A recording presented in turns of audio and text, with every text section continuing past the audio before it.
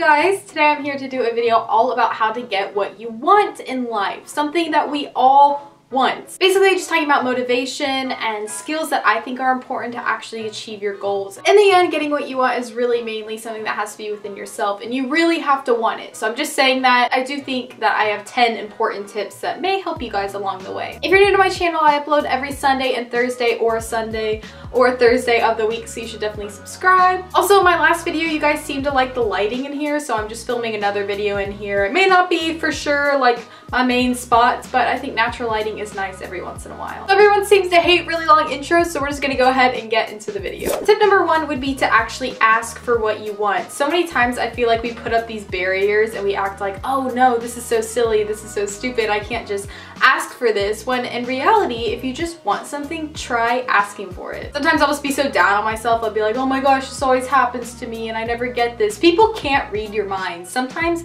you just have to ask them for what they want and they might give it to you. I was reading Hashtag Girl Boss, which is such a good book. It's by Sophia Amoruso, I believe. She said this in the book and it really spoke to me. If you're frustrated because you're not getting what you want, stop for a second. Have you actually flat out asked for it? If you haven't, stop complaining. You can't expect the world to read your mind. You have to put it out there. And sometimes putting it out there is as simple as just saying, hey, can I have that? And the worst thing that can happen is rejection and they say no and you move on to something better. Sometimes just asking for stuff is what we need to do and it's something that I need to get better at. Number two is fairly obvious but it is to work for it. Success doesn't come without hard work, it just doesn't. You really have to want something and you have to work hard and not slack off or put it off or procrastinate. However, I do want to mention a super cool company for you college students who may like to procrastinate. There's a really cool website called Luvo Learn and they basically create little notes and study guides for people who have midterms or tests or you just want to do better in a class in college. These range in price. I was looking online and some were $3, some were $9, but honestly, what is better to invest in than your education? Maybe stop getting Starbucks every day for the week and get yourself a study guide so you can get an A. I know it's really hard in college to keep up your grades because college is so much harder than high school, so I've heard I am in high school, but Luvo Learn is just such a cool company for people who do like to procrastinate because let's say you forgot to make a study guide or notes or something. Go on there, you find one you like and you study and you get an A. I'll have Luvo Learn down below. Such a cool company. I definitely am so for this and I know I'm going to be using it a lot next year. But yeah, hard work pays off. Study, research,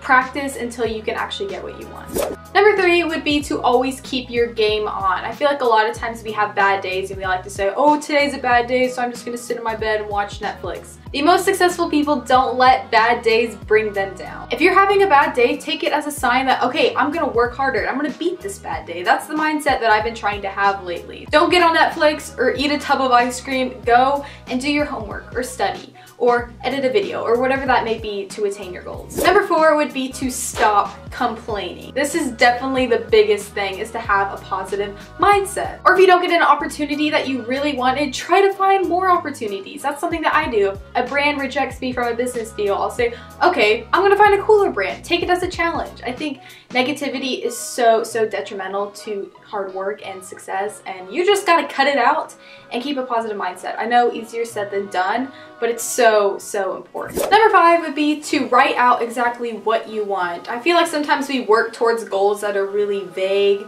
and we're just saying, oh hey, get better grades, get this job, etc. Write down specifically what you want. Have an A in biology, get this raise for my job, whatever it may be, write them out and maybe post them on your mirror or on your planner and so you have something to look towards every day. Number six would be to visualize what it would be like to get these goals. Something that really motivates me. If I'm in this mode of procrastination, I'll just think, oh my gosh, imagine how good it's gonna feel to be done with my homework, to have A's, and to be getting into college. That's gonna be a great feeling. And so I look towards that to motivate me. I know this method of motivation doesn't work for everyone. People will just be like, okay, cool, I'm gonna keep procrastinating. But for some people like myself, it definitely is helpful to think of attaining those goals. All the sweat and tears and blood doesn't matter because you made those goals. Number seven would be to be open to constructive criticism. Sometimes people can see what you need to improve in more than yourself. I feel like a lot of times we'll take constructive criticism as like judgment when it's not necessarily that. To be successful and to get what you want, you need to constantly be looking for what you can improve in while recognizing, yeah, I'm good at this, but hey, so-and-so is a little bit better than me in this. I'm gonna go to that person and see how I can improve. Number eight would be to be thankful. Never feel entitled to anything. Never feel like I deserve this without even working. I deserve this job because I've been here for so, so long. No, you don't deserve anything. Entitlement is such a bad mindset to have. It's awful. It creates envy and jealousy and just anger and it's so not a good trait to have. Every single day, write down what you're thankful for. Sometimes I will do this and I'll give myself like five things I have to write down and I'll put those down and I'll be thankful for them just so I keep gratitude into my daily routine and I'm not always trying to take what someone else has or anything. You're just thankful and you're grateful and you recognize the good in others. Number nine seems to be kind of like common sense, but make sure you can handle what you want.